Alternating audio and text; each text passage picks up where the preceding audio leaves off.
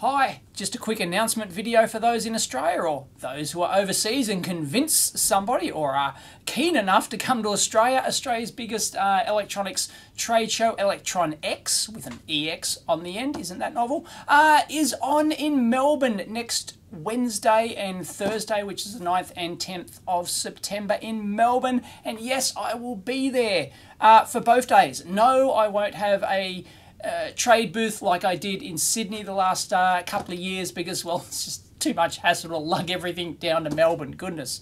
Ah, couldn't imagine that. It's bad enough setting up a booth in Sydney. Anyway, um, yes, I'll be there. So if you can convince your boss to send you or something, no, it's not a junket, it's an educational opportunity. Just get them to put it in the education or budget or training budget or something like that anyway. I'll be there, so if you want to meet me, I'll just be roaming around in the wild there. I'm pretty easy to spot.